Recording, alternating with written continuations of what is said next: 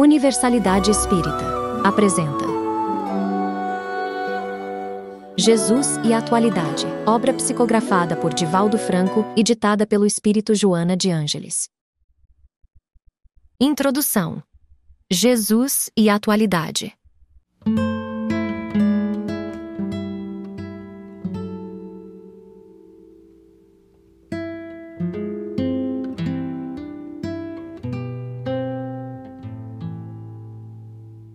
Atualidade do pensamento de Jesus surpreende os mais sépticos estudiosos da problemática humana, sempre complexa e desafiadora nestes dias. Profundo conhecedor da psique, Jesus penetrava com segurança nos refolhos do indivíduo e descobria as causas reais das aflições que o inconsciente de cada um procurava escamotear. Não se permitindo derivativos nem adiamentos, enfrentava as questões com elevado critério de sabedoria que desnudava as mais intrincadas personalidades psicopatológicas, propondo com rigor a terapia compatível, elucidando quanto à responsabilidade pessoal e eliminando a sombra projetada, sob a qual muitos se ocultavam. Por processos mais demorados, a psicologia profunda chega, no momento, às mesmas conclusões que ele lograva com facilidade há dois mil anos. Roberto Assagioli, por exemplo, com sua psicossíntese, penetrou nas causas das enfermidades, apoiando-se na realidade transpessoal do ser como fator delas desencadeante. Abraham Maslow descobriu a psicologia do ser e abriu espaço para o seu entendimento profundo em relação à psicogênese das enfermidades que deterioram a personalidade do homem. Groff, relacionando a mente com o cérebro, vai mais além e defronta o ser imortal como agente de inúmeras psicopatologias. Melanie Klein e Carl Johnson, de origem freudiana, propõem para os esquizofrênicos terapêuticas fundamentadas no amor, na caridade, no perdão cristão, como as de maior eficácia, embora se reconheçam a religiosos. A personalidade marcante de Jesus impressionava de forma indelével todos aqueles que o encontravam. Identificado com Deus, demonstrava-o em todos os seus passos, conclamando os ouvintes à conquista da realidade, o reino dos céus, que se encontra no imo de cada um. A sua proposta de aferição de valores, os materiais com os espirituais, oferecia a excelente oportunidade para o despertamento mental a respeito da vida e a consequente experiência vivencial em clima de harmonia íntima, com uma identificação entre as possibilidades e as circunstâncias existenciais sem utilizar-se de expressões e conceitos interpolados, falava uma linguagem de simples apreensão pela massa ignorante e pelas mentes elitizadas que o buscavam. Extraordinário narrador de histórias, uma das artes mais difíceis na área do discurso, e poeta ímpar, em razão das imagens puras na sua riqueza de cores e de significado, os seus ensinamentos eternizaram-se, reconhecidos como dos mais belos jamais anotados pela gnose. O Sermão da Montanha, considerado a carta magna dos direitos humanos, é um desafio de não violência, próprio para esta época, assim como foi para aquela em que ele o enunciou. Os que o ouviram jamais se desempregnaram da sua magia incomparável. Não somente, porém, Jesus é atual pelas terapias de amor e pelos ensinamentos que propõe ao homem contemporâneo, mas também pelo exemplo de felicidade e exteriorização de paz que irradiava. Enquanto as ambições desregradas conduzem as inteligências ao paroxismo e à alucinação da posse, da fama, da glória, das disputas cegas, ele ressurge na consciência moderna em plenitude, jovial e amigo, afortunado pela humanidade e a segurança íntima. A atualidade necessita urgentemente de Jesus descrucificado, companheiro e terapeuta em atendimento de emergência, a fim de evitar-lhe a queda no abismo. Pensando nesta inadiável questão, resolvemos apresentar neste pequeno livro 20 situações contemporâneas com ocorrências do cotidiano que aturdem a civilização, buscando respostas da conduta na terapia de Jesus, cujos resultados, obviamente, são a saúde, a paz e a felicidade, como experiências ainda não fruídas individual e coletivamente pelos homens. Certa de que o caro leitor encontrará nestas páginas respostas para algumas das suas inquietações, rogamos a Ele que nos oriente e ampare no rumo que seguimos, ansiosos pela nossa realização total. Salvador, 20 de fevereiro de 1989. Joana de Ângeles.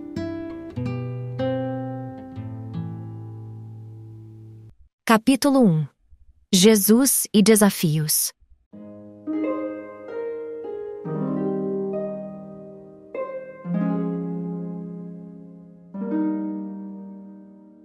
O processo de evolução constitui para o espírito um grande desafio.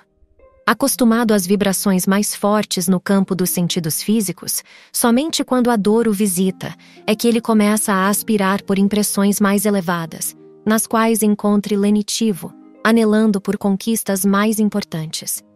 Vivendo em luta constante contra os fatores constringentes do estágio em que se demora, vez por outra experimenta paz, que passa a querer em forma duradoura. No começo, são as dores com intervalos de bem-estar que o assinalam, até conseguir a tranquilidade com breves presenças do sofrimento, culminando com a plenitude sem aflição. De degrau em degrau, ascende, caindo para levantar-se, atraído pelo sublime tropismo do amor. Conseguir o estágio mais alto significa-lhe triunfar. Aturdido e inseguro, descobre uma conspiração quase geral contra o seu fatalismo. São as suas heranças passadas que agora ressurgem, procurando retê-lo na área estreita do imediatismo, em nível inferior de consciência, onde apenas se nutre, dorme e se reproduz, com indiferença pelas emoções do belo, do nobre, do sadio. Anestesiado pelas necessidades vegetativas, busca apenas o gozo, que termina por causar-lhe saturação, passando a um estado de tédio que antecipa a necessidade premente de outros valores lentamente desperta para realidades que antes não o sensibilizavam e, de repente, passam a significar-lhe meta a conseguir, sentindo-se estimulado a abandonar a inoperância. O psiquismo divino, nele latente, responde ao apelo das forças superiores e desatrela-se do cárcere celular, qual antena que capta a emissão de mensagens alcançadas somente nas ondas em que sintoniza. O primeiro desafio, o de penetrar emoções novas, o atrai, impelindo-o a tentames cada vez mais complexos, portanto, mais audaciosos. Experimentando este prazer ético e estético, diferente da brutalidade do primarismo, acostuma-se com ele e esforça-se para novos cometimentos que, a partir de então, já não cessam, desde que, encerrado um ciclo, qual espiral infinita, outro prazer se abre atraente, parecendo-lhe cada vez mais fácil. Tudo na vida são desafios às resistências. A lei de entropia degrada a energia que tende à consumpção para manter o equilíbrio térmico de todas as coisas. O envelhecimento e a morte são fenômenos inevitáveis no cosmo biológico e no universo. Os batimentos cardíacos são desafios à resistência do músculo que os experimenta. Os peristálticos são teste constante para as fibras que os sofrem. A circulação do sangue é quesito essencial para a irrigação das células. A respiração constitui fator básico, sem o qual a vida perece. Tudo isso e muito mais na área dos automatismos fisiológicos a interferir nos de natureza psicológica. É natural que o mesmo suceda no campo moral do ser, que nunca retrocede e não deve estacionar sob pretexto algum. No progresso, a evolução é inevitável. A felicidade é o ponto final. Não cabe ao homem retroceder na luta, senão para reabastecer-se de forças e prosseguir nos embates. O crescimento de qualquer ideal é resultado dos estágios inferiores vencidos, das etapas superadas, dos desafios enfrentados. A sequoia culmina à altura e o volume máximos, célula a célula. O universo se renova e prossegue, molécula a molécula. Facilidade é perda de estímulo com prejuízo para a ação. Toda a vida do mestre foi um suceder incessante de desafios. Embates no seu meio social e familiar constituíram-lhe os primeiros impedimentos, que foram ultrapassados em razão da superior finalidade para a qual viera. Ele não aceitou carregar o fardo do mundo em caráter de redenção dos outros, mas ensinou cada um a conduzir o seu próprio compromisso em paz de consciência. Não assumiu as tarefas alheias, nem deixou de demonstrar como fazê-las. No entanto, altaneiro, sem presunção, tampouco sem submissão covarde. Os desafios da sociedade injusta e arbitrária chegaram-lhe provocadores, mediante situações, pessoas e circunstâncias. Apesar disso, sem deter-se, ele continuou íntegro, enfrentando-os sem ira ou medo. Passou aquele tempo. Todavia permanecem os resíduos doentios. Alterou-se a paisagem, não os valores, que prosseguem relativamente os mesmos, gerando obstáculos e insatisfações. Enfrenta os desafios da tua vida serenamente. Não aguardes comodidades que não mereces. Realiza a tua marcha, indômito, preservando os teus valores íntimos e aumentando-os na ação diária. Quem teme a escuridão, perde-se na noite. Sê tu aquele que acende a lâmpada e clareia as sombras. Desafiado, Jesus venceu. Segue-o e nunca te detenhas ante os desafios para o teu crescimento espiritual. Capítulo 2 Jesus e Reencarnação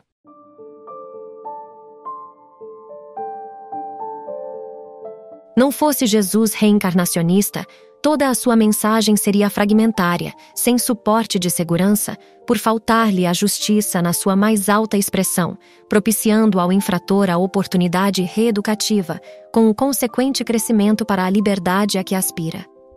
O amor por ele ensinado, se não tivesse como apoio a bênção do renascimento corporal, ensejando recomeço e reparação, teria um caráter de transitória preferência emocional, com a seleção dos eleitos e felizes em detrimento dos antipáticos e desditosos.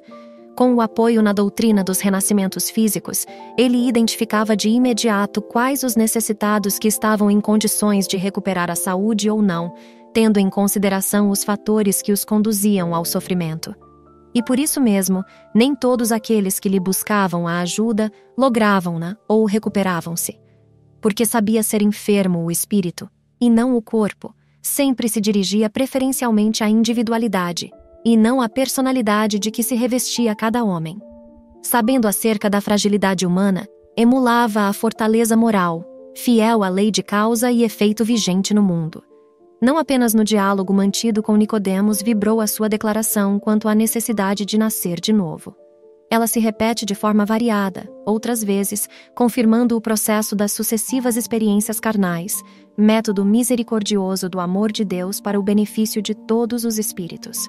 Nenhuma surpresa causara aos seus discípulos a resposta a respeito do Elias que já viera, assim como a indagação em torno de quem ele seria, segundo a opinião do povo, em razão de ser crença, quase generalizada à época, a pluralidade dos renascimentos espírito puro, jamais enfermou, enfrentando os fatores climáticos e ambientais mais diversos com a mesma pujança de força e saúde, a se refletir na expressão de beleza e de paz nele estampada. Quem o visse, jamais o olvidaria, e todo aquele que lhe sentisse o toque amoroso ficaria impregnado pelo seu magnetismo para sempre.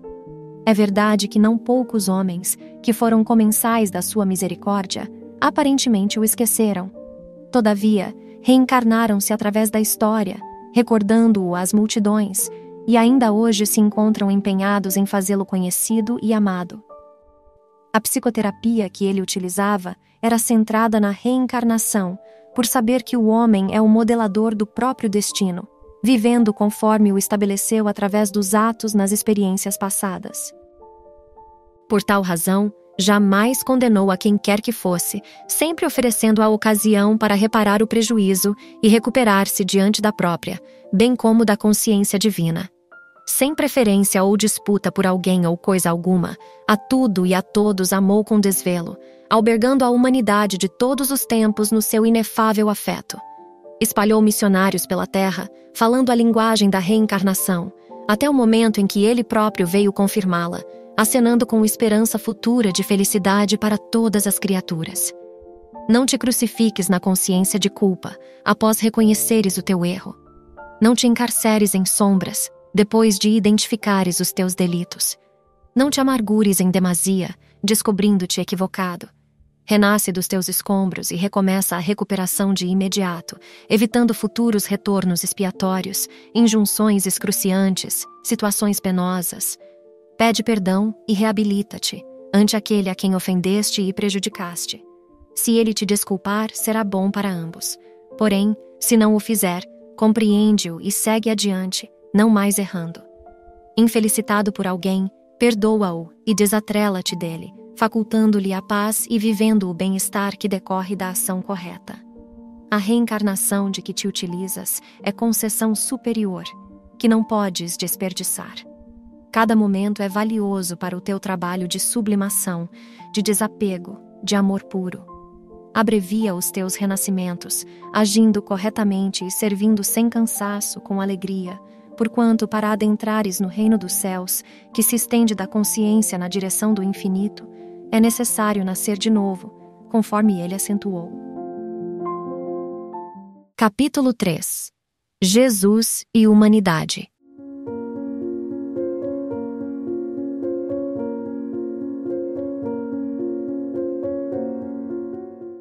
Jesus homem é a lição de vida que aurimos no Evangelho como convite ao homem, que se deve deificar. Não havendo criado qualquer doutrina ou sistema, Jesus tornou a sua vida o modelo para que o homem se pudesse humanizar, adquirindo a expressão superior. No seu tempo, e ainda agora, o homem tem sido símbolo de violência, prepotência e presunção, dominador exterior, estorcegando-se, porém, na sua fragilidade, nos seus conflitos e perecibilidade. Após os seus exemplos surgiu um diferente homem, humilde, simples, submisso e forte na sua perenidade espiritual. Enquanto os grandes pensadores de todos os tempos estabeleceram métodos e sistemas de doutrinas, ele sustentou no amor os pilotis da ética humanizadora para a felicidade. Não se utilizou de sofismas, nem de silogismos, jamais aplicando comportamentos excêntricos ou fórmulas complexas que exigissem altos níveis de inteligência ou de astúcia. Tudo aquilo a que se referiu é conhecido, embora as roupagens novas que o revestem. Utilizou-se de um insignificante grão de mostarda para lecionar sobre a fé. Recorreu a redes de pesca e a peixes para deixar imperecíveis exemplos de trabalho. A semente caindo em diferentes tipos de solos para demonstrar a diversidade de sentimentos humanos ante o pólen de luz da sua palavra. O sermão da montanha inverteu o convencional e aceito sem discussão, exaltando a vítima inocente em vez do triunfador arbitrário, o esfaimado de justiça, de amor e de verdade, em desconsideração pelo farto e ocioso dilapidador dos dons da vida. Jesus é a personagem histórica mais identificada com o homem e com a humanidade. Todo o seu ministério é feito de humanização, erguendo o ser do instinto para a razão e daí para a angelitude. Igualmente, é o homem que mais se identifica com Deus. Nunca se lhe refere como se estivesse distante, ou fosse desconhecido ou temível. Apresenta-o em forma de amor, amável e conhecido, próximo das necessidades humanas, compassivo e amigo. Reformula o conceito mosaico e atualiza-o em termos de conquista possível, aproximando os homens dele pela razão simples de ele estar sempre próximo dos indivíduos que se recusam a doar-se-lhe em amor. Referindo-se ao reino, não o adorna de quimeras nem o torna pavoroso. Antes, desperta nos corações o anelo de consegui-lo na realidade da transcendência de que se reveste. Nega o mundo, sem o maldizer, abençoando-o nas maravilhosas paisagens nas quais atende a dor e deixa-se mergulhar em meditações profundas sob o faiscar das estrelas luminíferas do infinito. Jesus na humanidade significa a luz que a aquece e a clareia. Se te deixaste fossilizar por doutrinas ortodoxas que pretendem nele ter o seu fundador, renasce e busca-o, na multidão ou no silêncio da reflexão, fazendo uma releitura das suas palavras, despidas das interpretações forjadas. Se te decepcionaste com aqueles que se dizem seguidores dele, mas não lhe vivem os exemplos, ouvida-os, seguindo-o na simplicidade dos convites que ele te endereça até agora e estão no conteúdo das suas mensagens, ainda vivas, quão ignoradas.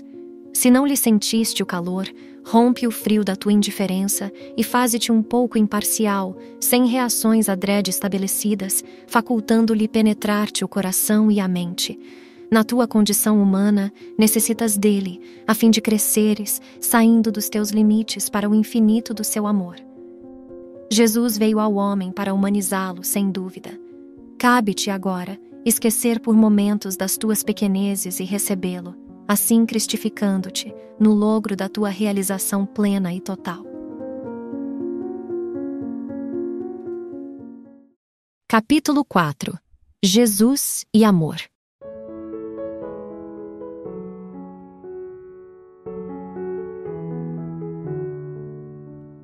A figura humana de Jesus confirma a sua procedência e realização como o ser mais perfeito e integral jamais encontrado na Terra. Toda a sua vida se desenvolveu num plano de integração profunda com a consciência divina, conservando a individualidade em um perfeito equilíbrio psicofísico. Como consequência, transmitia confiança, porque possuía um caráter com transparência diamantina, que nunca se submetia às injunções vigentes, características de uma cultura primitiva, na qual predominavam o suborno das consciências, o conservadorismo hipócrita, uma legislação tão arbitrária quanto parcial e a preocupação formalística com a aparência em detrimento dos valores legítimos do indivíduo portador de uma lídima coragem, insurgia-se contra a injustiça onde e contra quem se apresentasse, nunca se omitindo, mesmo quando o consenso geral atribuía legalidade ao crime. Paciente e pacífico, mantinha-se em serenidade nas circunstâncias mais adversas, e jovial, nos momentos de alta emotividade, demonstrando a inteireza dos valores íntimos, em ritmo de harmonia constante. Numa sociedade agressiva e perversa, elegeu o amor como a solução para todos os questionamentos e o perdão irrestrito como terapêutica eficaz para todas as enfermidades. Não apenas ministrava-o através de palavras, mas, sobretudo, mediante atitudes claras e francas, arriscando-se por dilatá-lo especialmente aos infelizes, aos detestados, aos segregados, aos carentes.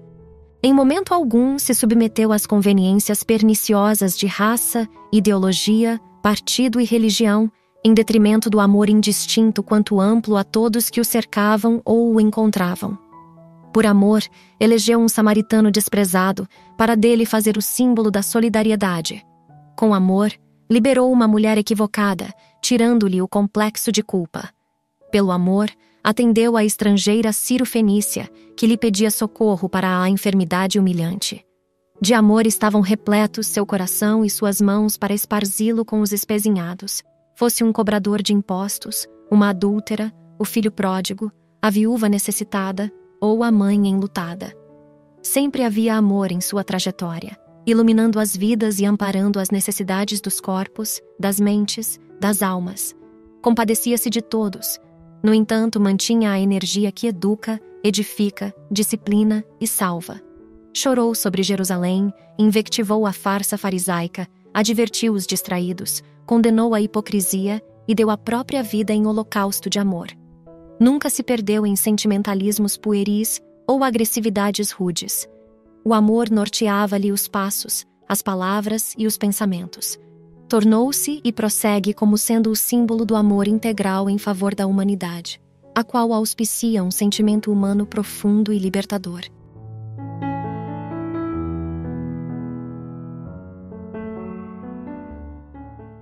Capítulo 5 Jesus e Tolerância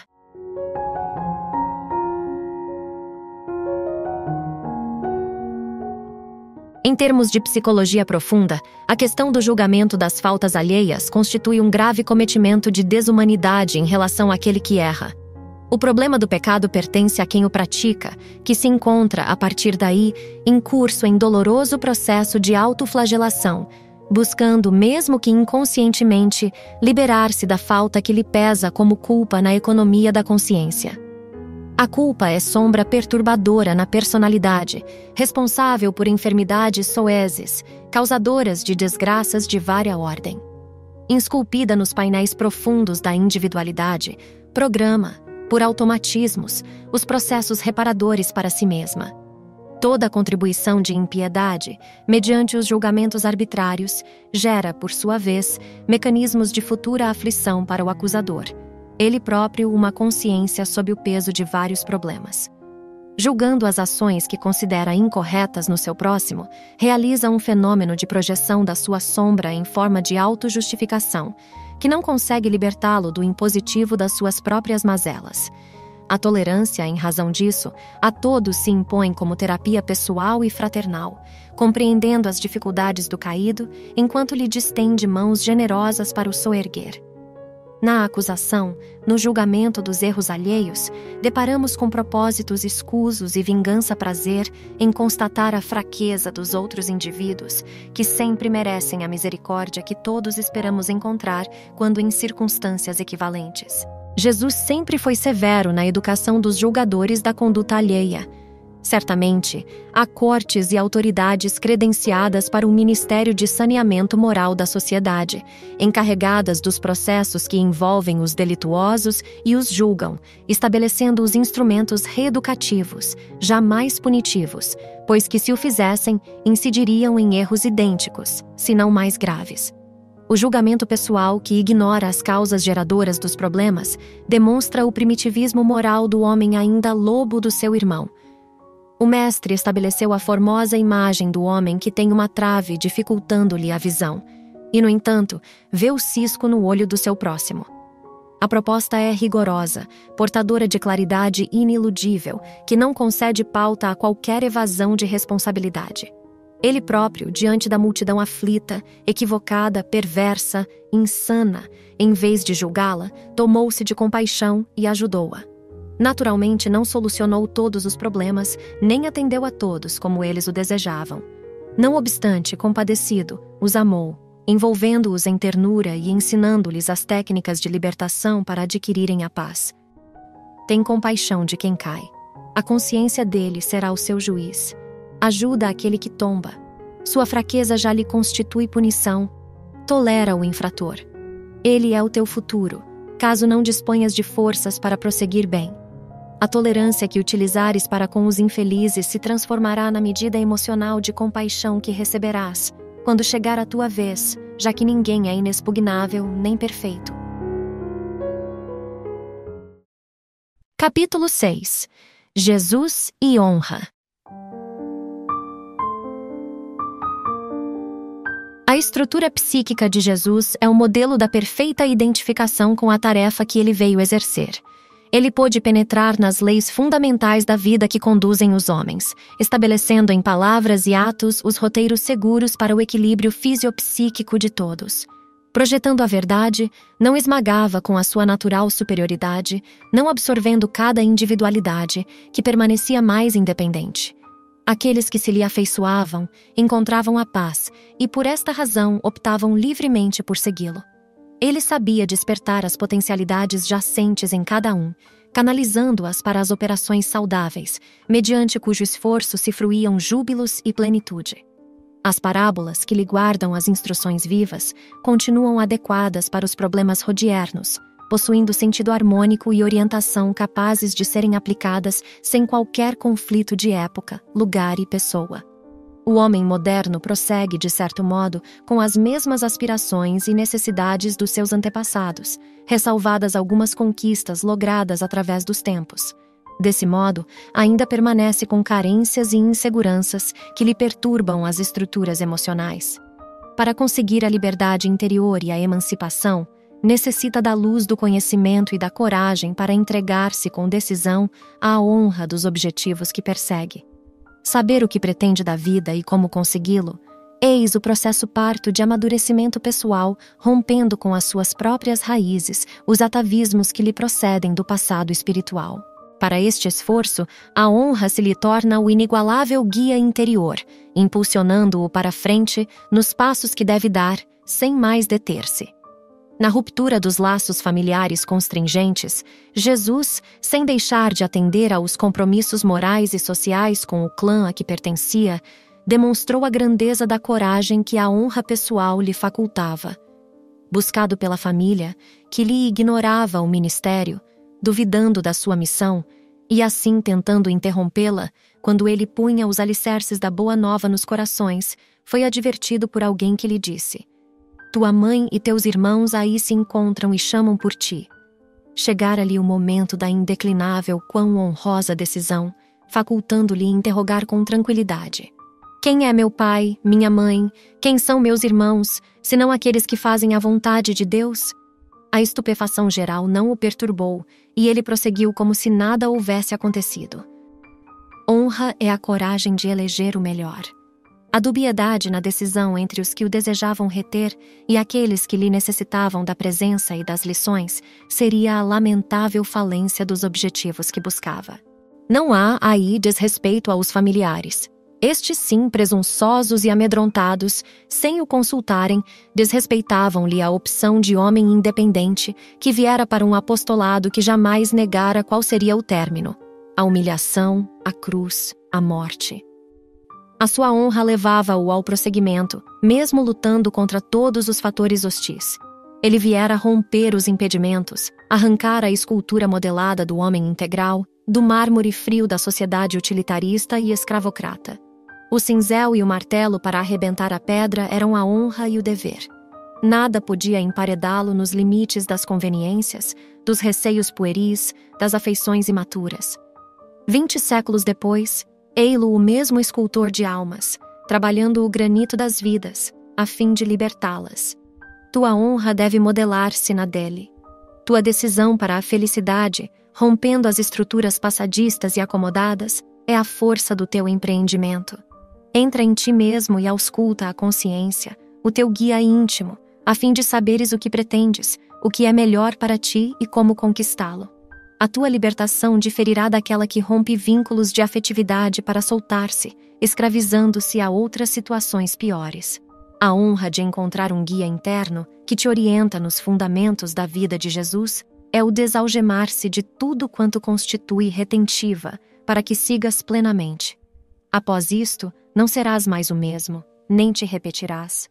A consciência do dever se manifestará a ti na honra de seguir em padrões de respeito a todos e a tudo, porém, de liberdade total sob a liderança de Jesus. Capítulo 7 Jesus e Justiça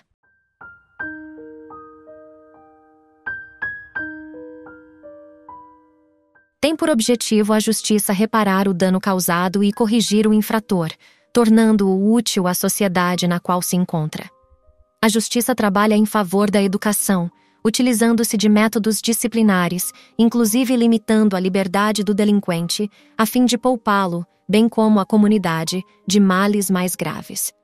O delito resulta do desrespeito aos códigos estabelecidos de leis que regem os povos, propiciando direitos e deveres iguais aos indivíduos. Quando a justiça se corrompe, o homem tresvaria e o abuso da autoridade conduz aos extremos da sandice.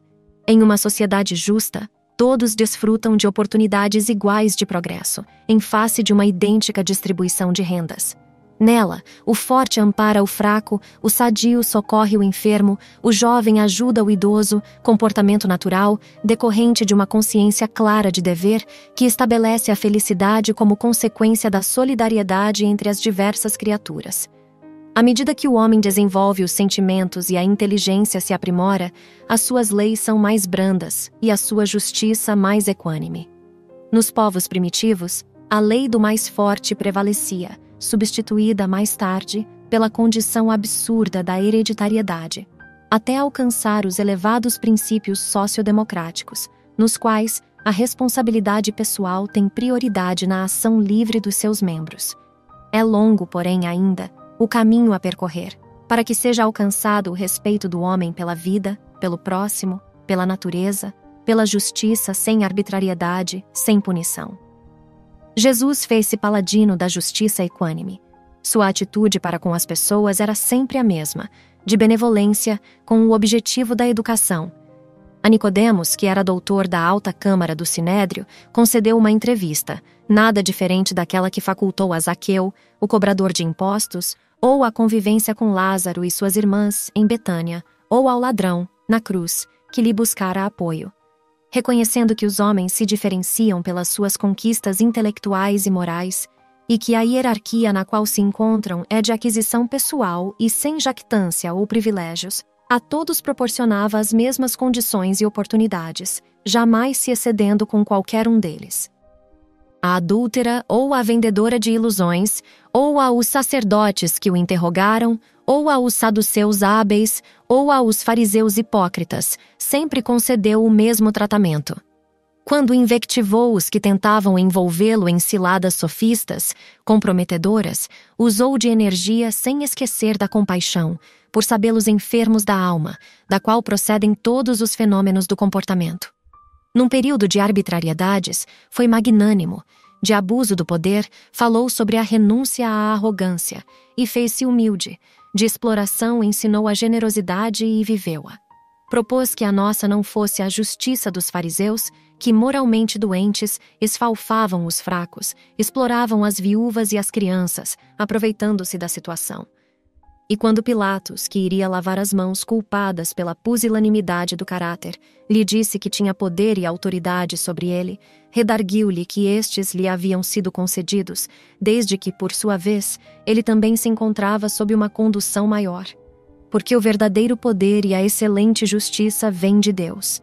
Emaranhado nos próprios erros e tropeçando nas malhas da incompleta justiça humana, reeduca-te Vítima das circunstâncias infelizes que te pesam, confia em Deus e aguarda.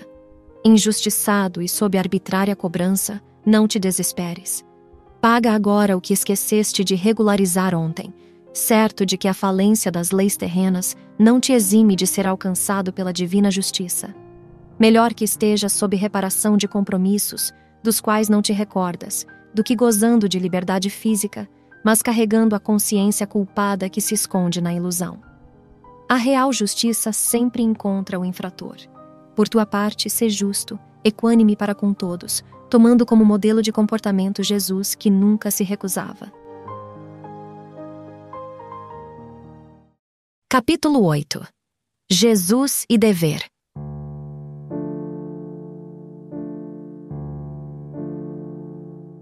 Por certo, de maneira inconsciente, incontáveis indivíduos se creem merecedores de tudo.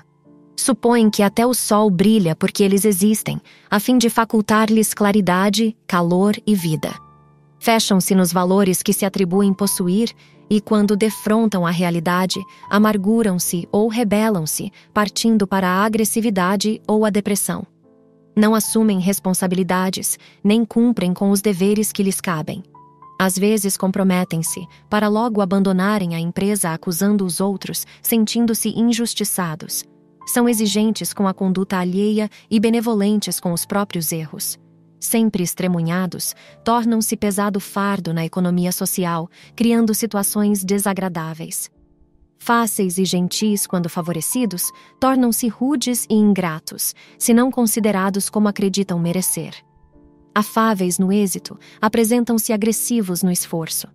Olvidam-se de que a vida é um desafio à coragem, ao valor moral e que todos temos deveres impostergáveis para com ela, para com nós mesmos e para com os nossos irmãos terrestres. Ninguém tem o direito de fruir sem trabalhar, explorando o esforço de outrem. O prêmio é a honra que se concede ao triunfador que se empenhou por consegui-lo. Palmo a palmo, o viajante ganha o terreno que percorre, fitando com desassombro a linha de chegada. O dever de cada um o conduz na empreitada da evolução. Esse esforço resulta da conquista moral que a consciência se permite, em plena sintonia com o equilíbrio cósmico. Ser útil em toda e qualquer circunstância, favorecer o progresso, viver com dignidade, são algumas expressões do dever diante da vida. Em inolvidável parábola, Jesus delineou o comportamento do homem que se esforça e merece respeito, demonstrando-lhe a fragilidade e, ao mesmo tempo, o desejo de renovação. Mateus recorda que havia um homem que tinha dois filhos. Falou ao primeiro: Filho, vai hoje trabalhar na vinha. Ao que ele respondeu: Sim, senhor. Porém, refletindo mais tarde, resolveu não ir. Ao segundo filho fez a mesma proposta e ele disse: Não quero. Todavia, arrependido foi. Qual dos dois atendeu à vontade do pai? Pergunta o mestre. E os interrogantes responderam a Jesus. O segundo. Nota da autora espiritual. Mateus, capítulo 21, versículo 28 e seguintes. Fim da nota. Defrontamos nessa experiência a ação e a promessa, o fato e a intenção. A ação deve predominar porque é resultante do dever. Para ela não se tornam necessárias palavras melífluas ou confortadoras, mas sim a decisão para realizá-la corretamente. Jesus sempre propõe o dever, a ação, bem entender, a fim de melhor atuar. Ele não induz ninguém à alienação da realidade objetiva do mundo. Ele estabelece uma escala de valores que devem ser respeitados, merecendo primazia os mais relevantes, que se tornam a pauta de conquistas do homem de bem, que cumpre com o seu dever. Diante dele, estagnação é morte, e esta é crime cometido contra o reino de Deus, que está dentro do próprio homem, necessitando de ser conquistado. Todas as parábolas que ele nos ofereceu estão plenas de ação, sem impositivos externos, antes como resultado de espontânea lucidez da consciência desperta. Nunca prometas realizar o que não pretendes fazer. Jamais permaneças inoperante em um lugar já conquistado. Identifica as possibilidades aí vigentes e segue adiante. O dever que te impõe renúncia e sacrifício também te alça à harmonia, liberando-te dos conflitos e das dúvidas. Não cesses de crescer interiormente. A insatisfação com o que já lograste sem rebeldia será a tua motivação para conquistas mais expressivas. És servidor do mundo. Jesus, que se originara nas estrelas, afirmou ser o servo de todos, e assim se fez, para que tivéssemos vida e esta em abundância. Capítulo 9 Jesus e a Alegria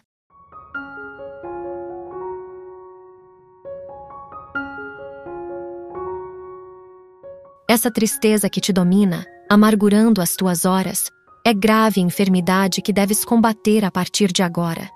Nenhuma complacência para com ela, nem justificativa enganosa para aceitá-la. Os argumentos de infelicidade quanto de insatisfação não passam de sofismas e mecanismos de evasão da realidade. Problemas todos os têm, com um imenso universo de apresentação. A falta deles geraria, por enquanto, desmotivação para a luta para o progresso. Essa nostalgia deprimente que te aliena e consome é adversária cruel, a que te entregas livremente sem reação, ampliando-lhe o campo de domínio, à medida que lhe cedes espaço. Seja qual for a razão, fundamentada em acontecimentos atuais, deves transformar em bênção que te convida à reflexão e não ao desalento. A tristeza é morbo prejudicial ao organismo, peste que consome a vida tudo em tua volta é um hino de louvor, de alegria, de gratidão a Deus. Observa o bem. Somente o homem, porque pensa, se permite empolgar pela tristeza, descambando para os surdos conflitos da rebeldia. Essa tristeza pode resultar de dois fatores, entre outros: reminiscências do teu passado espiritual e perturbação com repercussão obsessiva. No primeiro caso, as impressões pessimistas devem ser eliminadas, alijando-as do inconsciente, sob pressão de ideias novas, agradáveis, positivas, que te cumpre cultivar, insistindo em fixá-las nos painéis mentais. Se te acostumas a pensar bem, superarás as lembranças más. Os hábitos se enraizam, porque se repetem, dominando os automatismos da mente e do corpo. Na segunda hipótese, a hospedagem mental e emocional de entidades desencarnadas, malévolas, ocorre porque encontram sintonia nas tuas faixas psíquicas, estabelecendo contato hipnótico que se agrava com o tempo. Em ambos os casos, te encontras em curso em débitos para com as soberanas leis da vida. Não te reencarnaste, porém, apenas para pagar. Antes, sim, para ressarcir com amor, liberando-te dos compromissos negativos mediante as ações relevantes. És candidato às cumeadas da montanha e não um condenado às galés nas sombras do remorso inútil ou no charco das lágrimas perdidas. Se permaneces na situação infeliz, tornas-te vítima de ti mesmo. Todavia, se te resolves por sair do caos, transformas-te em teu próprio psicoterapeuta. Jesus, apenas uma vez, deixou-se vestir de tristeza, de amargura. No Getsemane, quando só ele velava e os amigos ali próximos dormiam, embora aquela fosse a hora decisiva, o pré-final. E o permitiu por piedade para com os companheiros invigilantes, que não se davam conta da gravidade do momento. Sempre ele cultivou a alegria da esperança, a bênção da saúde, a dádiva da paz. O seu foi o ministério do júbilo, da transformação do homem e do mundo velhos em uma criatura e sociedade inteiramente novas. Renascimento é vitória sobre a morte. É alegria que procede da libertação. Rasga, portanto, essa mortalha de sombras sob a qual ocultas todas as tuas possibilidades de triunfo. E sai a semear fraternidade na grande vinha que te aguarda. Realiza um novo, um atual encontro contigo mesmo e examina-te melhor, sem deplorares a situação em que te encontras, e vai na direção do êxito. Isto é fundamental, não como um pagamento, porém como um dever que te falta cumprir, a fim de te recuperares. Deus te concede esse direito e tens que corresponder-lhe, usando-o em teu benefício. Provavelmente sofres pressões, que são uma falta de humanidade, mas tua é a submissão a essa força constritora que aceitas. Se em verdade queres sair da tristeza, podes. Em caso contrário, és responsável por ela, assim te comprazendo, o que é séria enfermidade. Alegrai-vos, propôs Jesus, é chegado até vós o reino de Deus. Este reino está dentro de nós, esperando ser descoberto e habitado. Aguarda-te, desafiador. Chegou até onde estás. Dá o teu passo em sua direção, penetra-o, deixa-te por ele preencher e alegra-te para sempre, como herói que concluirá a luta. Capítulo 10 Jesus e Coragem A coragem de Jesus.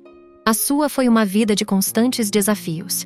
Em luta contínua em favor do bem, jamais deixou de agir corretamente, com desassombro. A mensagem de que se tornara portador, objetivando libertar as consciências humanas para a verdade, dele fez o paladino da coragem. Nunca anuiu com o crime disfarçado de legalidade, com a arrogância mascarada de humildade, com a injustiça apoiada pelos poderosos, com a hipocrisia travestida de honestidade, com a discriminação de qualquer natureza sob justificativas sociais, econômicas, raciais ou religiosas. Elegeu um samaritano como exemplo de solidariedade, em detrimento de um sacerdote presunçoso e de um levita astuto, que desfrutavam de algum prestígio na comunidade dominadora, embora aquele fosse detestado e desconsiderado. Apoiou a mulher que se tornara objeto de prazeres e era acusada publicamente de haver induzido o homem ao pecado, ao crime, com naturalidade e ternura, escolhendo uma equivocada de conduta pública irregular para torná-la mensageira da boa nova da sua ressurreição. Fez-se a voz dos humildes e esquecidos, os sem direitos nem apoio, a fim de que os seus justos reclamos se fizessem ouvidos. Conviveu com as pessoas ditas de má vida, sem receio de contaminação, com total desprezo dos que possuíam privilégios em uma vida má, a qual se entregavam ocultamente. Sua palavra, suave ante os sofredores, tornava-se contundente e viril diante dos perversos, dos bajuladores e dos pusilânimes, os quais nunca temeu. Em momento algum receou perder a vida, pois que para isso viera.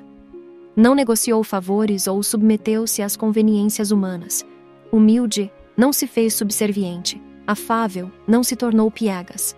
Amigo, não se qualificou subalterno. Sempre estoico, mantinha a linguagem e a conduta próprias para cada ocasião, pessoa e circunstância, sem afastar-se do roteiro que estabelecera. Viveu e agiu com firmeza, fora de subterfúgios, mantendo um só comportamento, o de fidelidade a Deus. Apoia-te nele. Sob tribulação ou fora dela, busca-o. Em dúvida atroz ou perseguido, pensa em como ele agiria nessa situação e faze conforme te inspire a consciência reta. Reflexiona com tranquilidade em torno da coragem de Jesus e busca-lhe o exemplo. Tem coragem de viver. Não te escondas, nem escamoteies a tua situação sob desculpas e mentiras. Autoanalisa-te, banhado pela claridade dos ensinamentos dele, e rompe os grilhões que te jugulam ao medo, à insegurança, à instabilidade, ao sofrimento moral e físico. Enfrenta com naturalidade os teus limites e angústias, confiante na vitória, não te evadindo dos deveres que te compete realizar. Em cada insucesso, aprende como não repetir a façanha, sem depressão ou arrependimento. A experiência é a súmula das tentativas que deram resultados positivos e negativos. Nunca temas a ninguém, atribuindo-lhe uma superioridade e valor que certamente não possui. Respeita sim as conquistas de cada pessoa, considera-a e toma-a como estímulo para ti, a fim de que também alcances essas realizações superiores. Concede-te o direito de ser humano e o dever de cresceres sempre, sem que te detenhas no degrau ou patamar onde te encontras age sempre ajudado pelo otimismo. O medo é inimigo atroz que dizima vidas aos milhões. A coragem nasce nos valores morais do homem que elege a conduta correta para uma vida feliz. A coragem de viver deve ser treinada continuamente, vencendo as pequenas barreiras da timidez, dos receios de fracassos, dos complexos de inferioridade, das doenças reais ou imaginárias, fortalecendo o ânimo em cada triunfo e reconsiderando a ação em cada insucesso. Coragem é conquista que difere muito da temeridade. O homem de coragem espera, confia e age no momento próprio, enquanto que o temerário faz-se precipitado, impiedoso e irresponsável. Toma como exemplo para a tua vida a coragem de Jesus e segue tranquilo. Capítulo 11 Jesus e decisão.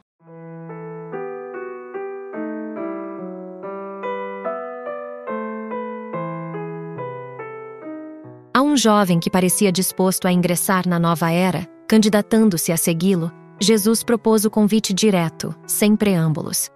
Apesar do interesse que se refletia na face ansiosa, o moço, receoso, esquivou-se sob a justificativa de que iria antes sepultar o genitor que havia morrido.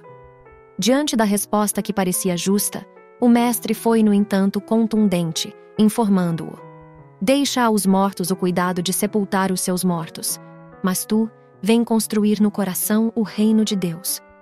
Pode causar estranheza a atitude e proposta de Jesus a um filho que pretendia cumprir com o seu dever imediato, no caso, enterrar o pai desencarnado. É provável que esse fosse o seu intento real, adiando o engajamento na tarefa da vida eterna. Todavia, é possível que o moço ocultasse alguma outra intenção. O desejo de estar presente ao velório e à inumação do cadáver talvez significasse a preocupação de ser visto como um filho cuidadoso e fiel, merecedor da herança que lhe cabia. Alguma disposição testamentária, provavelmente, exigia-lhe o cumprimento desse dever final, sob pena de perder o legado. Então, a sua presença não significaria um ato de amor, mas um ato de interesse subalterno. Os bens materiais, não obstante possuam utilidade, favorecendo o conforto, o progresso, a paz entre os homens quando bem distribuídos, são às vezes, de outra forma, algemas cruéis que aprisionam as criaturas, e que, transitando de mãos, são coisas mortas, que não merecem preferência ante as verdades eternas. Igualmente, se pode pressupor que o rapaz, ainda cioso da sua juventude, não estivesse disposto a renunciá-la, encontrando na justificativa uma forma nobre para evadir-se do compromisso. Os gozos materiais são cadeias muito vigorosas que jugulam os homens às paixões primitivas, que deveriam superar a benefício próprio, mas que quase sempre os levam à decomposição moral a morte dos ideais libertadores. Quissá a preocupação a respeito da nova responsabilidade causasse no candidato um receio injustificado, levando-o à escusa com o argumento apresentado. O medo de assumir compromissos graves impede o desenvolvimento intelecto-moral do indivíduo, mantendo-o estacionado na rotina despreocupada e monótona do seu dia a dia. O convite de Jesus faz-se acompanhar de um programa intenso, iniciando-se na renovação íntima para melhor e prosseguindo na ação construtiva do bem em toda parte. O medo é fator dissolvente da individualidade humana, responsável por graves desastres e crimes que poderiam ser evitados. É força atuante que conduz à morte das realizações dignificantes e das próprias criaturas. Por fim, suponhamos que o sentimento filial prevalecesse na resposta e ele estivesse preocupado com o pai desencarnado. Ainda assim, qualquer pessoa poderia sepultá-lo, mas ninguém, exceto ele mesmo, poderia encarregar-se da sua iluminação. Jesus era a sua oportunidade única. Jesus penetrou-o e sabia o motivo real da sua recusa. Porém, deixou-o livre para decidir-se. Ele foi sepultar o progenitor e não voltou. Perdeu a oportunidade. Muitos ainda agem assim. Observa o que elegeste para a tua atual existência. Seguir a vida e vivê-la, ou acumular tesouros mortos para sepultá-los no ouvido. Desnuda-te interiormente e contempla-te. Que possuis de real, que a morte não te arrebatará, e o que seguirá contigo? Usa de severidade neste exame de consciência e toma o lugar do jovem convidado. Que responderias a Jesus nesse momento? Queixas-te dos problemas que te aturdem e os relacionas ignorando ou tentando desconhecer que estás na terra para aprender, resgatar, reeducar-te. Olha ao redor e compreenderás o quanto é urgente que te decidas pelo melhor e duradouro para ti, como ser imortal que és. Postergando a decisão, quando então a tomares, provavelmente as circunstâncias já não serão as mesmas e a tua situação estará diferente, talvez complicada. O momento é este. Deixa-te permear pela presença dele e feliz, segue-o. Com tal atitude, os teus problemas mudarão de aparência, perderão o significado afligente, contribuirão para a tua felicidade. Renascerás dos escombros e voarás no rumo da grande luz, superando a noite que te aturde. Capítulo 12 Jesus e responsabilidade. Há no homem latente um forte mecanismo que o leva a fugir da responsabilidade, transferindo o seu insucesso para outrem, na condição de indivíduo social ou para os fatores circunstanciais da sorte, do nascimento e até de Deus. Quando tal não se dá, na área das suas projeções comportamentais, apega-se ao complexo de culpa, mergulhando nas depressões em que oculta a infantilidade, pouco importando a idade orgânica em que transita. A responsabilidade resulta da consciência, que discerne e compreende a razão da existência humana, sua finalidade e suas metas, trabalhando por assumir o papel que lhe está destinado pela vida. Graças a isso, não se omite, não se precipita, estabelecendo um programa de ação tranquila, dentro do quadro de deveres que caracterizam o progresso individual e coletivo, visando a conquista da plenitude. O homem responsável sabe o que fazer quando e como realizá-lo. Não se torna parasita social, nem se hospeda no triunfo alheio, tampouco se oculta no desculpismo ridículo. A sua lucidez torna o elemento precioso no grupo social onde se movimenta. Talvez não lhe note a presença, em face da segurança natural que proporciona. Todavia, a sua falta sempre se faz percebida por motivos óbvios. A responsabilidade do homem leva-o aos extremos do sacrifício, da abnegação, da renúncia, inclusive do bem-estar e até mesmo da sua vida.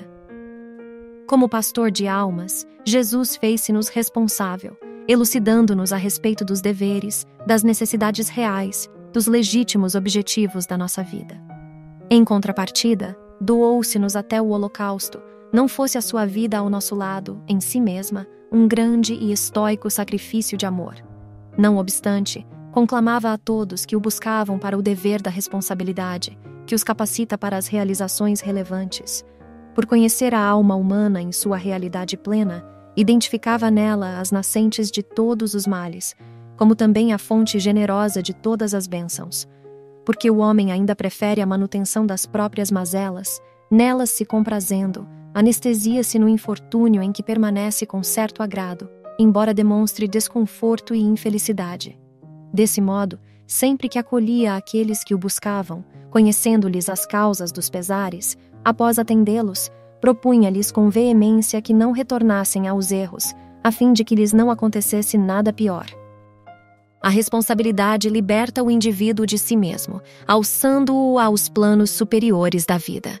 Enquanto ele se movimenta cultivando o morbo das paixões selvagens, desajusta os implementos emocionais tornando-se vítima de si mesmo, facultando que se lhe instalem as doenças degenerativas e causticantes. A renovação moral propicia a canalização das energias saudáveis de forma favorável, preservando o ser para os cometimentos elevados a que se destina. A humanidade sobrevive graças aos seus homens responsáveis, que trabalham continuamente em prol do bom, do belo, do ideal. Eles se destacam pela grandeza das suas realizações cimentadas no sacrifício pessoal.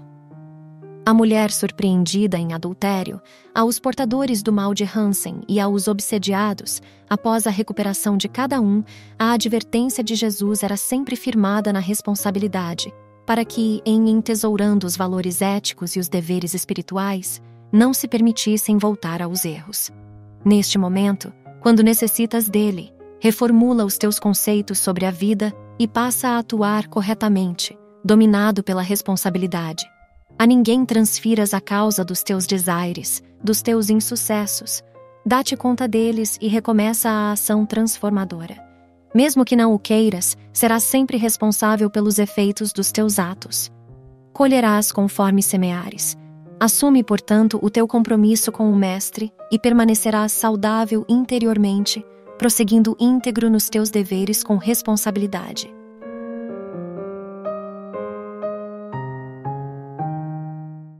Capítulo 13 Jesus e Revolução Jesus sempre agiu na condição de psicólogo profundo. Não importava o revestimento, a aparência com que se lhe apresentavam as pessoas, ou estas se referiam às suas doenças, aos seus sentimentos.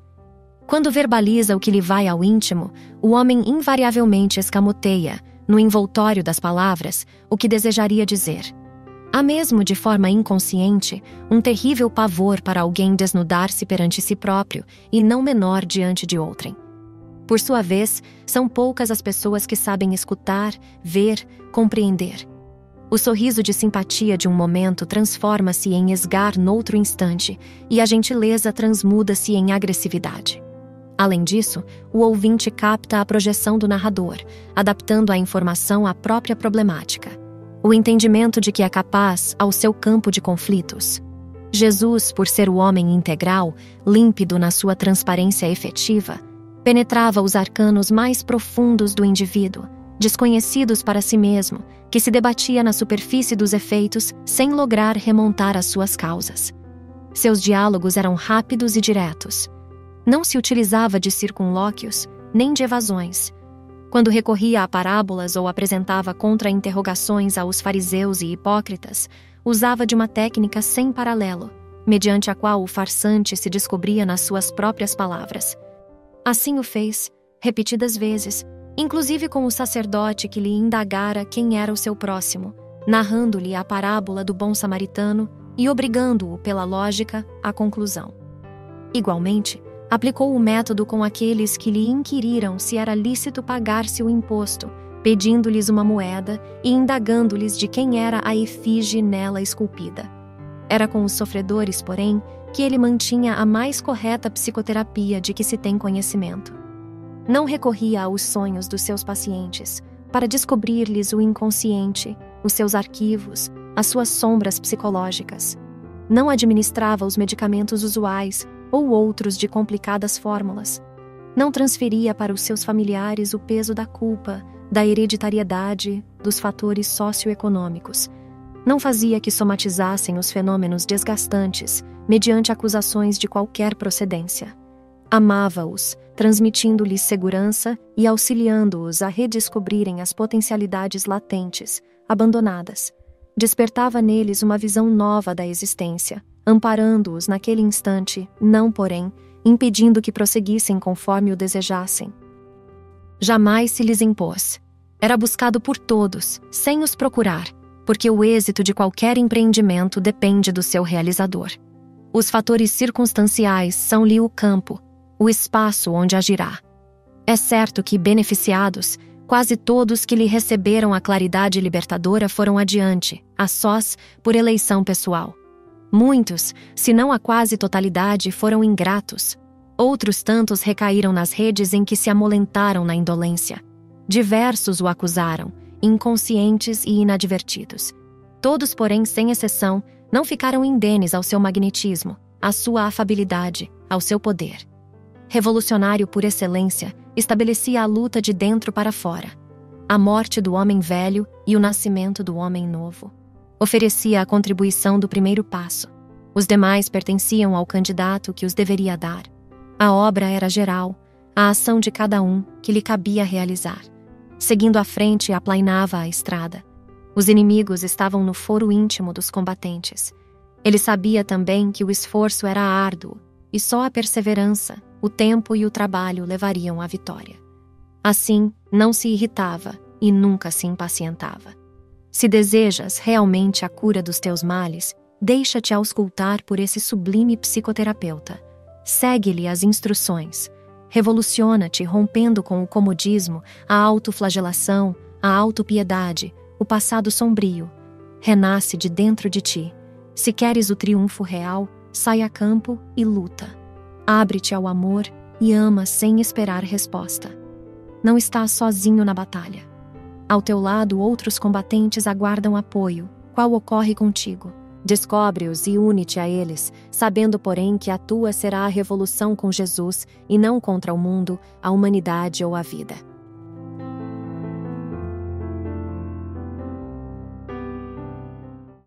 Capítulo 14 Jesus e posses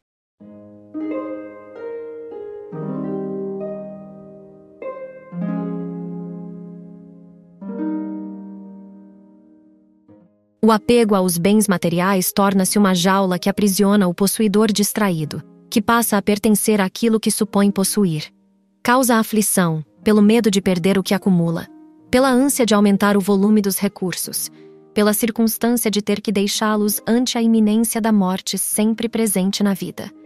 Desvaria, porque intoxica de orgulho e prepotência a criatura, que se crê merecedora de privilégios e excepcionais deferências que a não impedem de enfermar-se, neurotizar-se, padecer de solidão e morrer como todas as demais. Enrijece os sentimentos, que perdem a tônica da solidariedade, da compaixão e da caridade, olvidando-se dos outros para pensar apenas em si. Faz pressupor que nasceu para ser servido, abandonando o espírito de serviço que dignifica e favorece o progresso. O possuidor que não se interessa por repartir os valores, oferecendo dignas oportunidades de trabalho, é escravo que mais se envilece, quanto mais se prende às posses. Rico é todo aquele que doa, assim espalhando os recursos, que se multiplicam em diversas mãos em benefício geral. O rico verdadeiro é investidor consciente, que não paralisa o crescimento da sociedade, antes amplia sua área de realizações. Sabe que é mordomo transitório e não dono permanente, devendo prestar contas oportunamente dos valores que lhe foram confiados. Verdadeiramente, o homem nada possui, nem a si mesmo ou a sua vida, tornando-se usuário de tudo quanto lhe chega e passa. A descoberta de tal realidade harmoniza-o interiormente e com tudo quanto é temporário, em trânsito para o que é de sabor eterno, que é a sua espiritualização. No século desfruta, mas não retém. Na vida permanece, mas não abusa. O encontro de Jesus com o jovem rico que se dispôs a segui-lo reveste-se de extraordinário conteúdo contemporâneo. Apesar de cumpridor das exigências formais da sociedade e da religião, não tinha consciência do significado da integração da sua existência no ideal fecundo da vida eterna. Queria o reino, desfrutando os favores do mundo em forma dos bens que lhe facilitavam a caminhada faustosa. Anelava por seguir o amigo e fruir da sua companhia, sem contribuir com nada. Ter mais, sem despojar-se de algo, era o seu intento. O mestre, que o conhecia em profundidade, estabeleceu como requisito fundamental que ele vendesse tudo quanto possuía, desse-o aos pobres e o seguisse. A vida é feita de intercâmbios, de trocas e permutas. Se dá a quem tem e se tira de quem não tem, daquele que é avaro e nunca reparte o excesso que para ele não é nada, no entanto, para os demais, é tudo. O moço era rico e gozador, mas não era feliz, pois que lhe faltava algo: a solidariedade que pacifica as ansiedades do coração. Talvez ele se pudesse libertar dos bens materiais. Todavia, não estava acostumado aos limites da escassez, ao equilíbrio da falta, a uma posição menos vistosa, destituída do brilho enganoso da fatuidade e da bajulação. Renunciar aos tesouros seria um passo na direção da renúncia de si mesmo, e isto lhe era demasiado. Favorecido pela abundância, receou a carência. Renunciou então ao permanente e perdeu-se na vacuidade. Possuis como bens atormentantes ao lado das moedas, propriedades, títulos, semoventes, as paixões e caprichos deles decorrentes, almejas paz e afeição, felicidade e autorrealização. Entretanto, quando se te apresenta o ensejo, recalcitras e avalias o montante daquilo que deves doar em troca, optando por prosseguir conforme te encontras. Queres, porém, não estás seguro da opção que deves fazer, da contribuição a brindar, do teu esforço pela libertação. Somente é feliz aquele que é livre. Só existe felicidade em quem se encontrou com a verdade, absorveu-a e tomou-a como norma de conduta. No redemoinho das tuas querelas e conveniências, se desejas vida nova e harmônica, ouve Jesus. Despoja-te de tudo, dá aos outros o que seja útil e segue-me. Propõe ele. Desnudado, estarás fecundado pela luz, portanto, livre e feliz.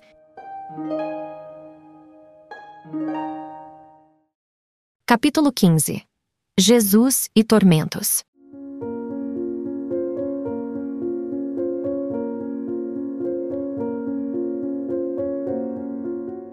Genericamente, o homem tem sido considerado como a massa física e mental, ainda incompleta, que demanda o túmulo e ali se consome. As religiões reportam-se à alma com um destino adrede fixado para o futuro, repousando na ociosidade ou padecendo na punição intermina. O mundo é, para os primeiros, um lugar de prazeres imediatos com a inevitável presença do sofrimento, que faz parte da sua imperfeição. Para os segundos, é vale de lágrimas, ou lugar de degredo. De um lado, a simplista informação do nada após a morte.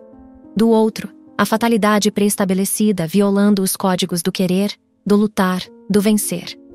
Uma e outra corrente de pensamento conduz inevitavelmente aos tormentos. Aqui, o gozo até a lassidão dos sentidos, e ali, a amargura frustrante, a castração da alegria em mecanismos de evasão da realidade. Fundamentados nessas propostas, surgem aqueles que vivem para fruir e os que se recusam à satisfação. Jesus foi o protótipo da felicidade. Amava a natureza, os homens, os labores simples com os quais teceu as suas maravilhosas parábolas. Não condenava as condições terrenas, não as exaltava. Na posição de mestre, ensinava como se devia utilizá-las, respeitando-as, com elas gerando alegria entre todos, abençoando-as. Como médico das almas, propunha vivê-las sem pertencer-lhes, assinalando metas mais elevadas que deveriam ser conquistadas com esforço pessoal. Os tormentos humanos procedem da consciência de culpa de cada criatura. Originário de outras existências corporais, o espírito herda as suas ações, que ressurgem em forma de efeitos. Quando aquelas foram saudáveis, estes se lhe fazem benfazejos. O inverso é, igualmente, verdadeiro.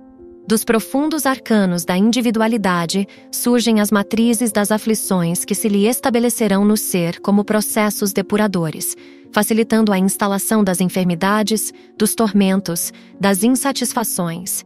Da mesma forma, criam-se-lhe as condições favoráveis para a existência, fácil ou árdua, no lar caracterizado por problemas socioeconômicos e morais, ou enriquecido de amor e recursos que lhe favorecem a jornada. No ser profundo e mortal, encontram-se as raízes dos fenômenos que agora lhe repontam sobre o solo da organização carnal. Os teus tormentos atuais são tormentos que engendraste em vidas passadas. Atormentaste com impiedade e agora sofres sem conforto. Afligiste sem misericórdia e ora padeces sem afeição. Inquietaste com perversidade e hoje te perturbas sem consolo. O teu íntimo é um caldeirão fervente os conflitos se sucedem e sais de um para outro desespero. Tens dificuldade em exteriorizá-los, verbalizá-los, aliviando-te. Fobias, complexos, recalques dominam-te a paisagem mental e te sentes um fracassado. Retempera o ânimo, porém, e sai do refúgio dos teus tormentos para a luz clara da razão. Ninguém está na terra fadado ao sofrimento, aos conflitos destruidores. Todos retornam ao mundo para aprender, recuperar-se, reconstruir. Na ausência do amor-ação, aparece-lhes a dor-renovação. Assim, dispõe-te a paz, a libertação dos tormentos, e lograrás alcançá-las. No inolvidável encontro de Jesus com a mulher de vida libertina, que lhe lavou os pés com um unguento de lágrimas, enxugando-os com os seus cabelos, temos a psicoterapia para todos os tormentos, Disse ele ao anfitrião que o censurava mentalmente por aceitar a atitude da pobre atormentada. Ela muito amou, e por isso os seus pecados lhe serão perdoados. Fitando-a com ternura e afeição, recomendou-lhe: Vai-te em paz, a tua fé te salvou. O amor que se converte em reparação de erros é a eficiente medicação moral para todas as chagas do corpo, da mente e da alma. Ama e tranquiliza-te deixando os teus tormentos no passado e ressuscitando dos escombros, ressurge feliz para a reconstrução sadia da tua vida. Capítulo 16 Jesus e Repouso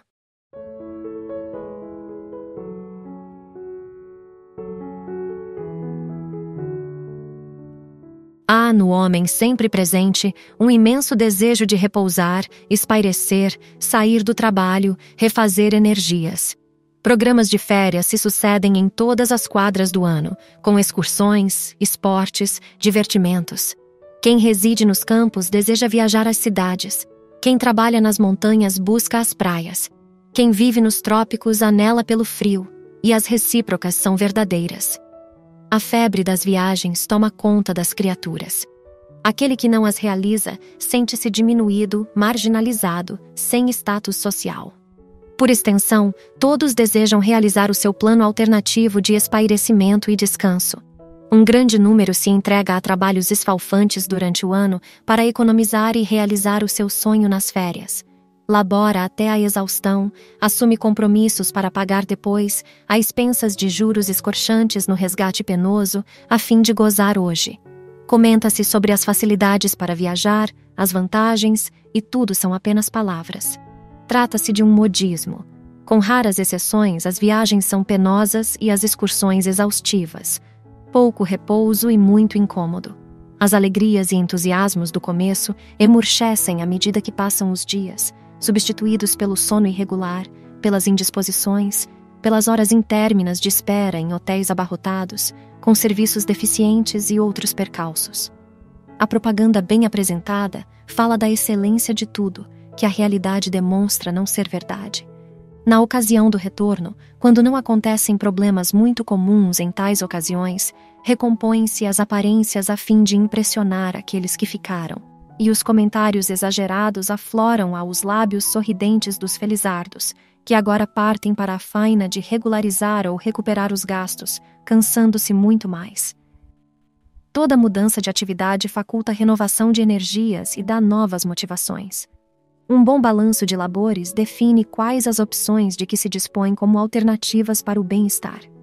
O homem necessita, sem dúvida, de férias, de repouso, de espairecimento, que lhe proporcionam alegrias e refazimento para prosseguir trabalhando.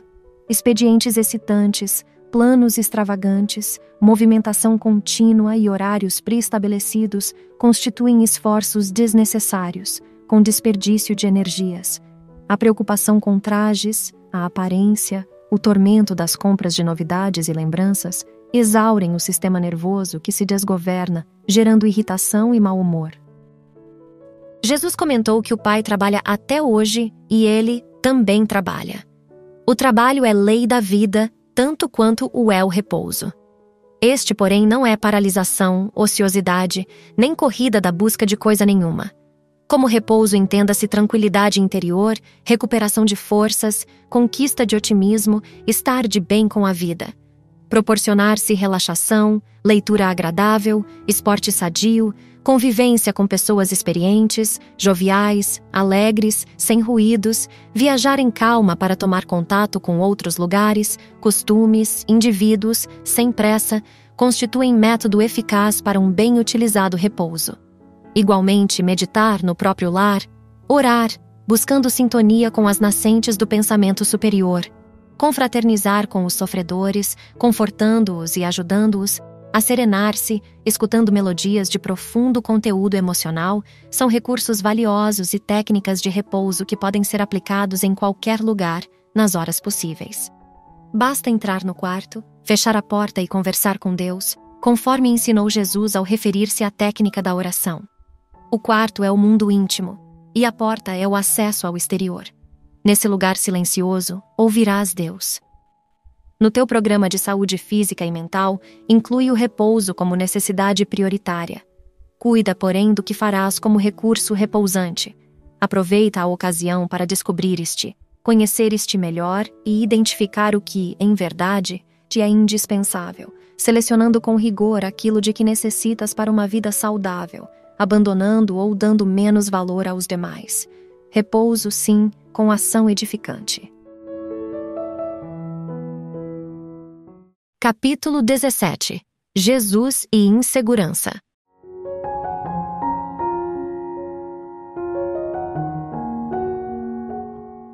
é conquista muito difícil e remota. Em face da condição de ser planeta de provas e expiações, o processo evolutivo sempre se apresenta exigindo árduos esforços nas lutas em que todos se devem empenhar. Igualmente, a constituição somática frágil, sujeita a muitos fatores que a agridem, proporciona estados transitórios de harmonia, alterados por desgastes, desajustes e renovação constante de peças. Do ponto de vista emocional, as heranças que jazem no espírito, responsáveis pelo seu crescimento, surgem e ressurgem em forma de angústias e alegrias, que se sucedem umas às outras, até o momento da libertação.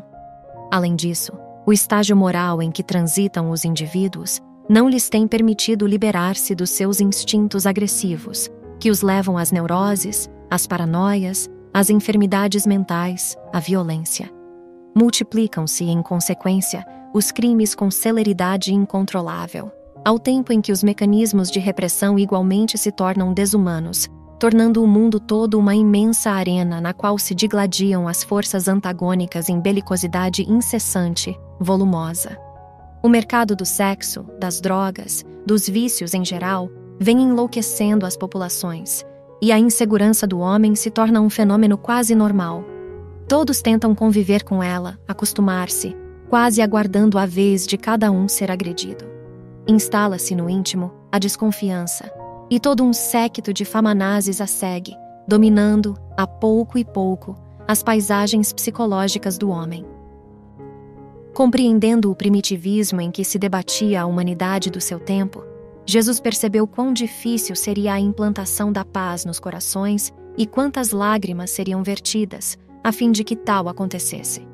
Por esta razão, previu as catástrofes e hecatombes que as criaturas desencadeariam bem como as incontáveis aflições que se imporiam, aprendendo lentamente o respeito pela vida, conforme relata o seu discípulo no sermão profético.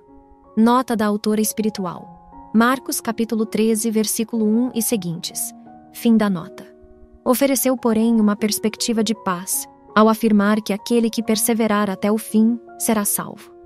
A salvação, aqui, deve ser tomada como um estado de consciência tranquila, de autodescobrimento, em que o mundo interior assoma, governando os impulsos desordenados e harmonizando o indivíduo. Salvo está aquele que sabe quem é, o que veio fazer no mundo, como realizá-lo, e, confiante, entrega-se à realização do compromisso estabelecido. A responsabilidade faculta-lhe segurança relativa para o desempenho da atividade a que se vincula. Cada pessoa tem um compromisso específico na vida e com a vida. Jesus nolo demonstrou, e o seu foi de construção do reino de Deus na terra. Não se deteve e nunca postergou essa realização. Da mesma forma, a segurança pessoal e coletiva resulta do grau de comprometimento do indivíduo, bem como do grupo social. Ele atestou a segurança que o caracterizava em todos os momentos, por estar comprometido sem restrições. Propunha: Credes em Deus? Crede também em mim. Ide e pregai. Tomai sobre vós o meu fardo e aprendei comigo, que sou manso e humilde de coração. Inúmeras vezes o seu comprometimento com a verdade desvelava-lhe a segurança que o sustentava na ação. Sem demonstrar agressividade ou teimosia, a sua certeza era tranquila, a sua determinação imbatível. A segurança do Mestre acalmava aqueles que se lhe apoiavam, que confiavam nele. Sempre tranquilo, irradiava essa segurança, que mimetizava quanto se lhe entregavam, até mesmo diante do martírio que enfrentavam com desassombro. Jesus ensina como deve o homem lograr a sua evolução psíquica, que deve ser desenvolvida simultaneamente com a orgânica, o que demanda tempo, e por isso não apresenta receita salvacionista ou simplista de ocasião. Antes, propõe o amadurecimento pelo esforço constante, mediante avanços e recuos para fixar o aprendizado e prosseguir até a meta final. Saber aguardar, esforçando-se, é uma lei que lhe faculta a vitória. Desejando segurança na vida, busca Jesus e a Ele confia os teus planos. Faze a parte que te diz respeito e não desfaleças na conquista dos objetivos que parecem distantes. Retempera o ânimo e persevera. A segurança te virá como efeito da paz que te luarizará o coração, servindo de estímulo para todas as tuas futuras conquistas. Capítulo 18 Jesus e sofrimentos.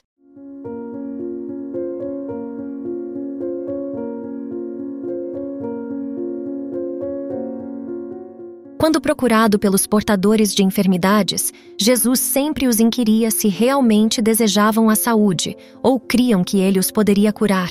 Era de fundamental importância para o restabelecimento do enfermo a sua segurança íntima sobre esses dois requisitos querer e crer. Complementando-se um no outro, tornam-se essenciais para o restabelecimento físico e psíquico do candidato à cura. O querer em profundidade, sem reservas, altera completamente o quadro psicofísico do indivíduo, que se transfere do estado inarmônico em que se encontra para o de equilíbrio, auxiliando o organismo na restauração dos seus equipamentos danificados. A doença não é mais do que um sintoma do desarranjo do espírito, em realidade dela o portador. O ato de querer libera-o dos elementos perniciosos, geradores dos distúrbios que se apresentam na emoção, na mente e no corpo.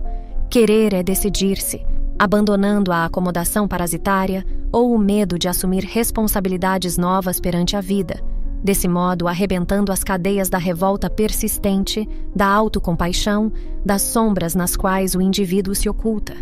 Quem quer, investe, e ao fazê-lo, age de forma a colher os resultados almejados. O crer é uma decisão grave, de maturidade emocional e humana. A crença vive inata no homem, aguardando os estímulos que a façam desabrochar-se, enriquecendo de forças a vida. Há uma crença automática, natural, herança arquetípica das gerações passadas, que induz à aceitação dos fatos, das ideias e experiências, sem análise racional. E existe aquela outra, que é resultado da elaboração da lógica, das evidências dos acontecimentos com os quais a razão anui. Cresce, portanto, por instinto e por conhecimento experimental. Quando se quer, despojado de dúvida, a crença no êxito já se encontra bojo do desejo exteriorizado.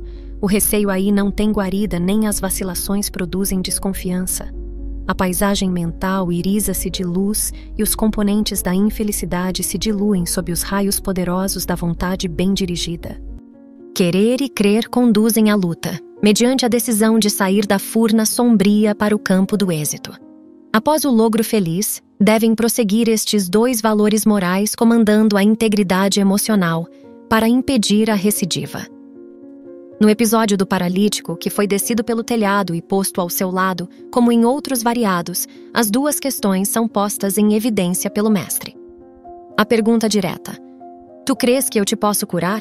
O doente respondeu: Sim, demonstrando a fé que o dominava, ao mesmo tempo retratando querer recuperar a saúde, tal o esforço empreendido para estar ali. Movimentar amigos e pessoas solidárias. Submeter-se ao desconforto de ser conduzido. Tivera aumentadas as dores e, porque queria, conseguiu.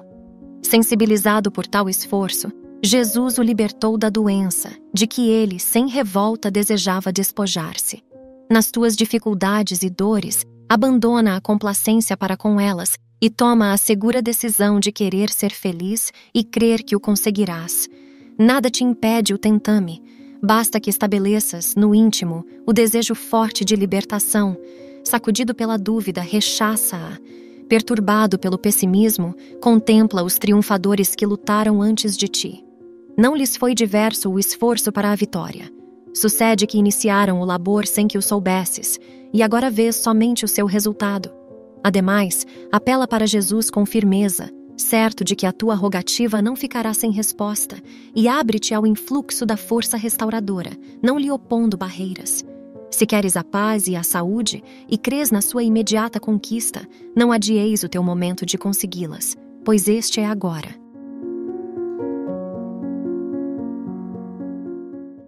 Capítulo 19 Jesus e ingratidão.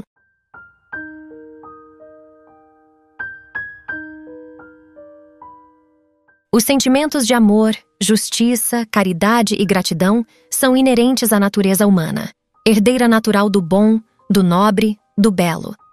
Todavia, porque ainda se demora em crescimento de valores, mais vinculada atavicamente aos instintos primitivos, não se manifestam essas qualidades, que devem ser cultivadas com esforço até que se expressem por automatismos defluentes da sua elevação interior. Em razão disso, são mais comuns as manifestações agressivas, as rebeldias, as ingratidões que aturdem, mantendo um clima mental e emocional belicoso entre os homens. Ingratidão, que é desapreço, apresenta-se como grave imperfeição da alma, que deve ser corrigida. O ingrato é enfermo que se combure nas chamas do orgulho mal dissimulado, da insatisfação perversa. Assim todos os direitos e méritos se atribui, negando ao benfeitor a mínima consideração, nenhum reconhecimento. Olvidando-se rapidamente do bem que lhe foi dispensado, silencia-o, mesmo quando não pensa que o recebido não passou de um dever para com ele, insuficiente para o seu grau de importância. A ingratidão é chaga moral purulenta no indivíduo, que debilita o organismo social onde se encontra. Assim, os ingratos são numerosos, sempre soberbos e autossuficientes, em dependência mórbida, porém, dos sacrifícios dos outros. Jesus sempre admoestava os ingratos que lhe cruzavam o caminho. Nunca lhe faltaram no ministério estes infelizes. No admirável fenômeno de cura orgânica dos dez leprosos, patenteiam-se a ingratidão dos beneficiados e a interrogação do Mestre diante daquele que havia retornado para agradecer. Onde estão os outros? Não foram dez os curados? Nove se haviam ido, apressados para o gozo e a algaravia, recuperados por fora, sem liberação da doença interna, que desapareceria somente a partir do momento em que fossem agradecer modificando-se psicológica e moralmente. Na tragédia do Calvário, não se encontrava presente nenhum dos que foram beneficiados pelas suas mãos, e estes haviam sido muitos.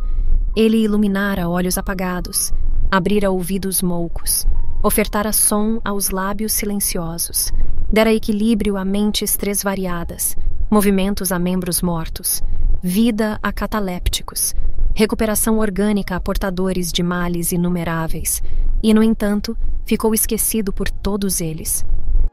Não obstante o bem que receberam, fugindo do reconhecimento, os ingratos viram-se diante de si mesmos, das consciências molestadas pelos remorsos, tornando a enfermar e morrendo, pois que deste fenômeno biológico ninguém escapa. O mestre conhecia as debilidades morais do homem e sempre se preocupava em alcançá-las, a fim de que as pretendidas curas alcançassem as matrizes das doenças, onde as mesmas se originam, erradicando-as, de modo que não voltassem a produzir miasmas e males perturbadores. A sua era uma constante proposta de renovação de metas, de atitudes, de pensamentos. Sendo o exemplo máximo, pedia que o vissem, isto é, que lhe tomassem a conduta de desapego das paixões cáusticas e cuidassem de uma só coisa necessária, que é o reino de Deus embutido no coração. Na busca do mais importante, o seu encontro elimina o secundário, que deixa de ter valor, para ceder lugar ao essencial, que é o necessário. Os homens, porém, na superficialidade dos seus interesses, anelam apenas pelo imediato, que lhes satisfaz num momento, deixando-os ansiosos outra vez. Por imaturidade espiritual, ceifam a árvore de onde retiram os frutos de hoje, acreditando com ingenuidade que não terão fome amanhã. E quando esta se apresenta novamente, não tem onde recolher o alimento. Assim agem os ingratos. Toldam a água da fonte que os descedentou, queimam o trigal que lhes deu o pão, cortam a planta frutífera que os alimentou, afastam o amigo generoso que os socorreu. Em contrapartida, vivem a sós, amesquinhados em si mesmos por conhecerem o íntimo. Desconfiados, neurotizam-se. Arbitrários, são desamados. Soberbos, passam ignorados. Não te preocupes com os ingratos dos teus caminhos de amor. Prossegue, ofertando luz, sem te inquietares com a teimosia da treva. Onde acendas uma lâmpada, a claridade aí derramará dádivas. Os teus beneficiários que te abandonaram, esqueceram ou se voltaram contra ti, aprenderão com a vida e compreenderão mais tarde o que fizeram. Recordarão das tuas atitudes e buscarão passar adiante o que de ti receberam. Não é, portanto, importante o tratamento que te deem em retribuição, mas sim o que prossigas fazendo por eles. Capítulo 20 Jesus e inimigos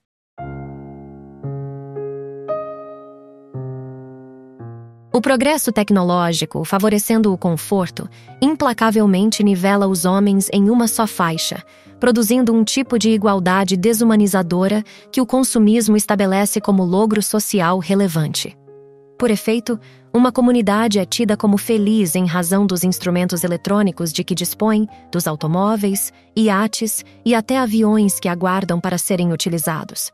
Os modismos assolam, gerando um comportamento mesmista, em que os indivíduos se imitam, assumindo posturas idênticas, com o enfraquecimento dos ideais, da ética, da família, da criatura em si mesma.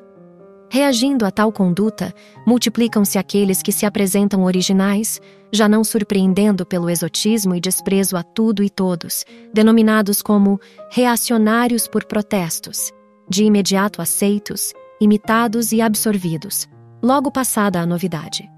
Tais posturas escondem os chamados complexos coletivos, que destroem a vida, instalando o clima de indiferença, quando não de instabilidade nas pessoas. Há modelos para todos os nivelamentos de indivíduos com injustificável desprezo pela sua identidade humana.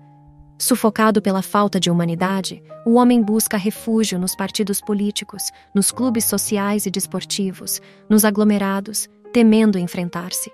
Permanece na multidão, sofrendo de insuportável soledade. Vê inimigos em toda parte e busca afastá-los, usando artifícios segregacionistas de vários tipos, embora fantasiando-se de democrata e solidário. Os inimigos mais cruéis, todavia, permanecem no imo das próprias criaturas, que os vitalizam com o orgulho, o egoísmo e o disfarce da acomodação social aparente. Jesus soube identificá-los, como jamais alguém logrou fazê-lo em tal profundidade. Ouvia os seus interlocutores, que, embora dissimulassem os motivos reais que os assinalavam, não conseguiram passar despercebidos. Diante da sua visão penetrante, desnudavam-se os hipócritas e enganadores. A sua posição moral impunha-se-lhes, no entanto, e ele os enfrentava com amor ou energia, conforme a circunstância e a intenção de que se revestissem, sempre, porém, generoso levava cada um a auscultar-se e adentrar-se, a fim de extirpar as matrizes do mal em desenvolvimento. Logo depois, estimulava-os ao crescimento pessoal, desarticulando os mecanismos mentais e sociais que conspiravam para a decadência geral, pela queda do nível cultural e emocional que deve constituir a base da sociedade. Em a negativa de Pedro, três vezes repetida, a respeito do amigo, temos uma lição de grande magnitude, porquanto, tão logo ele veio a cair em si, chorou amargamente. Nota da autora espiritual. Mateus, capítulo 26, versículo 75. Fim da nota. A explosão das lágrimas foi-lhe a oportuna catarse liberativa do arrependimento que o poderia neurotizar, levá-lo, como aconteceu a Judas, ao suicídio infame. Reergueu-se da queda, venceu o medo inimigo e a pusilanimidade adversária, dando a partir dali todo o restante da vida ao serviço de reparação pelo bem. Jesus, por sua vez, aceitou-lhe a oferenda de amor, utilizando-o no ministério. O Mestre conhecia-o. Por isso, anunciara-lhe a defecção por vindoura, as fragilidades, apontando-lhe os inimigos internos que deveria combater. Não temas enfrentar as tuas sombras, esses inimigos que vigem em ti mesmo. Fortalece o ânimo e concentra-te em Jesus, a própria terapia atuante. Deixa que a tua emoção o alcance. Não tenhas medo destes adversários com os quais convives sem saber. Identifica-os, um a um, desembaraçando-te logo após da pressão que exercem sobre ti. Recupera a tua humanidade, sendo tu mesmo. Convive com todos no teu grupo social mas preserva-te, sem seguir os modelos fabricados pelo consumismo devorador e neurotizante. Permanece aberto à renovação, à diversidade, à tua identidade. Desprovido de prevenções e precauções perturbadoras, gozarás de otimismo, fator essencial a uma vida sadia e a um interrelacionamento social saudável. Universalidade Espírita apresentou Jesus e a atualidade. Se gostou, curta, comente e ou compartilhe o vídeo para ajudar na ampliação do canal e para que mais obras sejam produzidas. Fiquem todos na paz de Deus.